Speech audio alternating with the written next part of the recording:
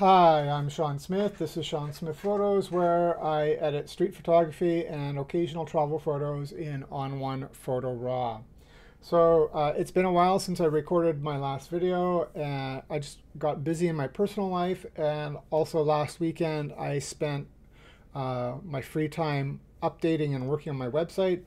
I am a professional web developer by trade, and so I like to customize things, and my photo site was very old. I built it like eight years ago. The code was like old and outdated and slow and bloated, uh, not so much fun to work with.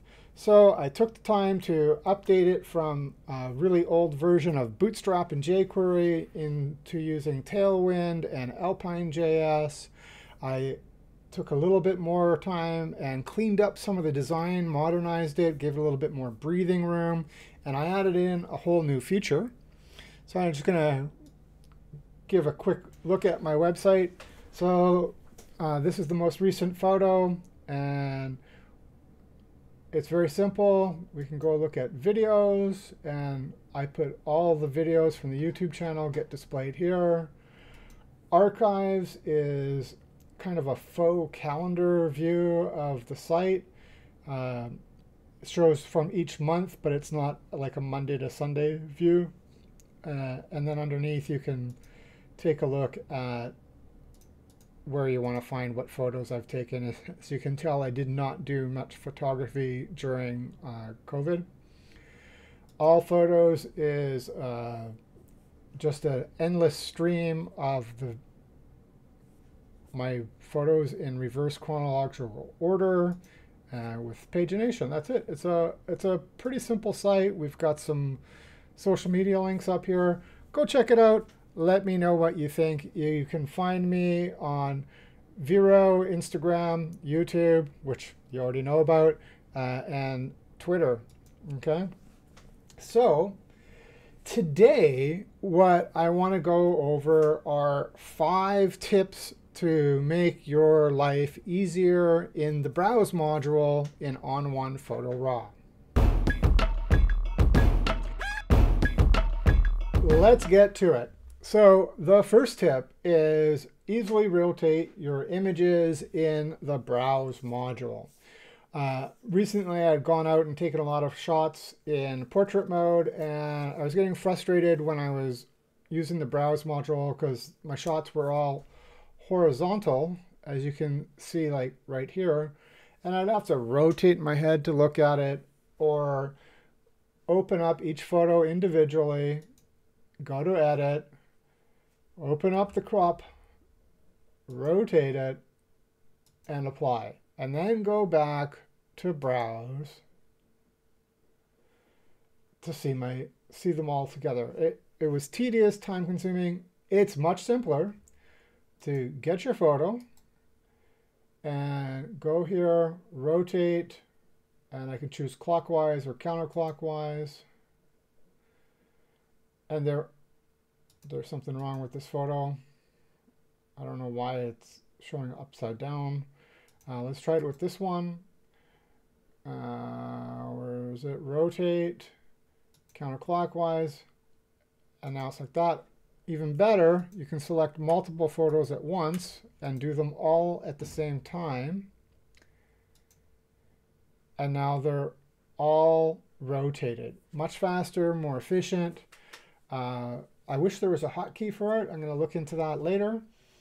Uh, speaking of hotkeys, that's tip number two. Learn your hotkeys because they will help you be more efficient and work faster by keeping your hands on the keyboard rather than moving your mouse all over the place.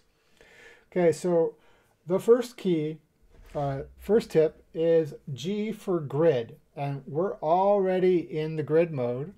So I'm going to go to edit and I want to go back. All I have to do is use my keyboard and type G and I'm in the grid mode, grid view, G grid view if I am browsing around and I say I want to see this shot full size, the full size or single photo keyboard key a hotkey is E.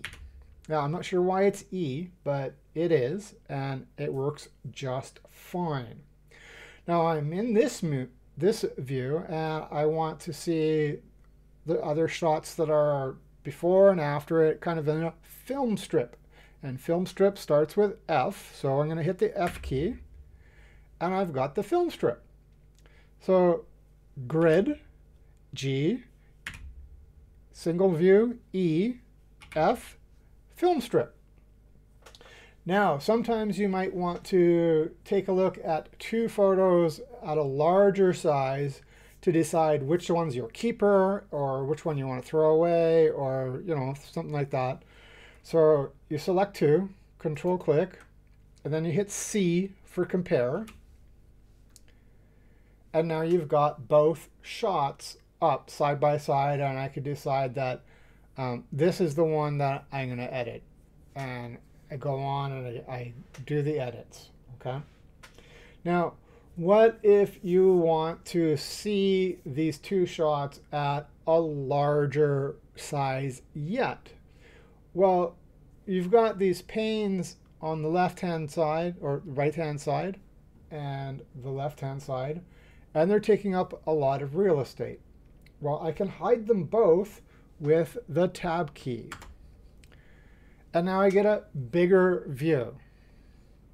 But perhaps I don't want to hide both of them. You can hide them individually. So what I just did is I hit the tab key again to bring them both back. If I want to hide the left pane, I will hit Control. I assume that it's Command on Mac. Control and left arrow, and it's gone. And Control and left arrow, and it brings it back. And uh, opposite for the right pane, Control and right arrow, Control and right arrow brings it back. So you can uh, expand your view of what you're looking at. This is really handy if you're editing or working on a small screen like a laptop, you're not at home, you don't have your big external monitors. Really, really handy when you need to work on a smaller screen. Okay, so other keys. Let's go. Uh, let's go into grid mode. So I've got these keys here, and what I want to do is I want to rate this photo. And 1 through 5 is the star rating. So if I hit 1, 2, 3, 4, 5, back to 1, you know, 3, just hit a number and it rates it. 6 to 0 are your color keys. So 6 is red, uh, 7 is yellow, 8 is green, 9 is blue, and 0 is purple. Very, very nice. Uh, maybe you just want to mark it with the heart or you want to mark it as a rejection. Okay, so the heart or liking it is P, P, pick. So I'm picking this one. I'm, maybe I'm going to print it or I'm going to somehow uh, feature it, maybe on my website or Instagram or whatever. P, pick. If I go to this one and I decide that I don't want to do this, then I can X. And it is now marked for deletion or that I dislike it. Perhaps I was a little overzealous and I decided that, hey, I, I, do, I do like this photo. Or maybe I don't dislike it as much as I thought. All I have to do is hit U undo, you, undo, and it's not disliking it anymore. Same with the like, you, it's not liking it anymore. It hasn't done the opposite. So it's not going from like to dislike. It's just going from like to neutral. Okay? So, uh, and those are our hotkeys.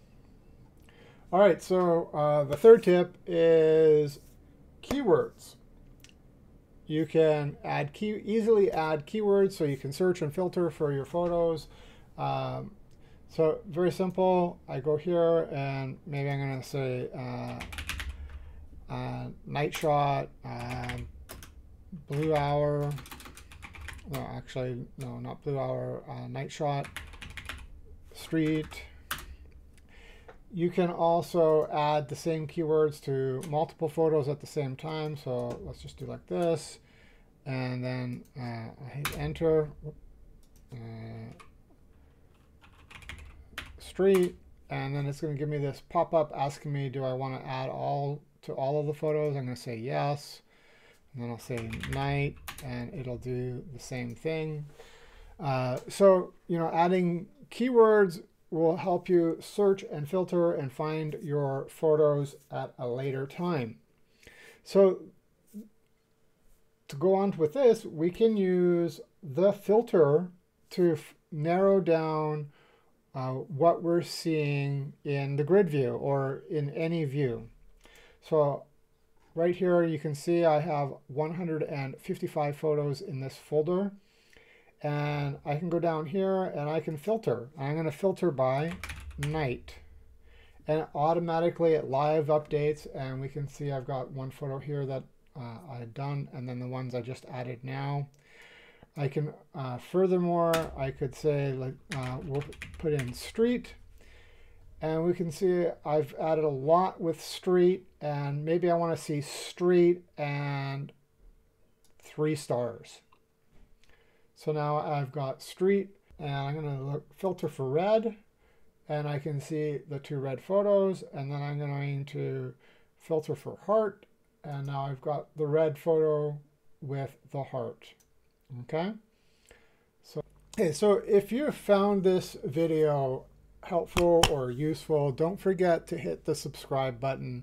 Uh, you can find me on Vero, Instagram, and my website. Links are in the description below. Uh, if you would like me to go over other hotkeys or tips, maybe in the develop module or things like that, please leave comments and let me know what kind of videos that you want to do because I'm here to help you. All right.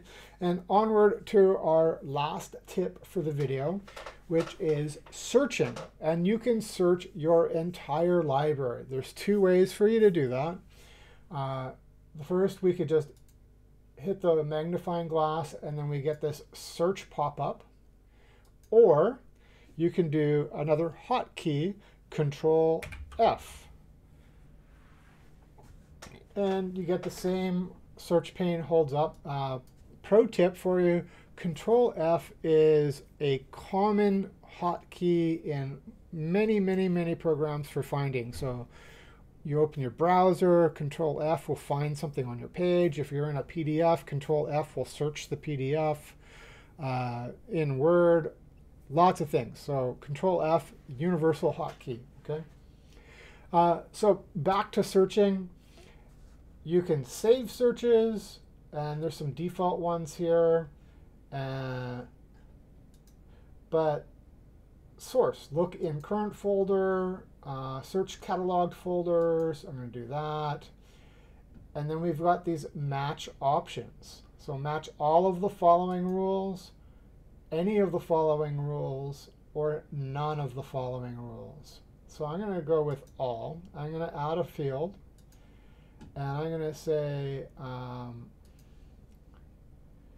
likes, no, um, rating. Where is it? Where is rating? Rating is three stars, or I could say rating it's, is greater or equal to three stars. And now you can see that it's showing all of the photos that I've rated greater or equal to three stars. I'm going to say five, and then we'll say uh, greater or equal to five stars. It's going to upload. What are my five star photos? I haven't done this in a long time. So yeah, uh, so you can see there's some of my kids and uh, yeah, so you can add another field here and we could say uh, what camera do I want? So I want to search for uh, what camera, a camera model. No, uh, not camera model because I don't remember my camera models. Um, camera make, there we go. So I'm going to say uh, Panasonic. And, you know, here we, it's filtered them again. And then I could add another field if I want to. And this time I'm going to say uh, keywords. And I'm going to say um, mm, landscape. And here we go. So I've got photos that I rated five stars taken with my one of my two Panasonic cameras that I've had and are keyworded as landscapes. Okay, so the advanced search really, really gives you a lot of control about how to filter through. And when you've got 20,000, 30,000, 50,000, 100,000 photos, this is going to be your best friend. That and keywording. Anyways, thank you for watching. Hope you have a great day.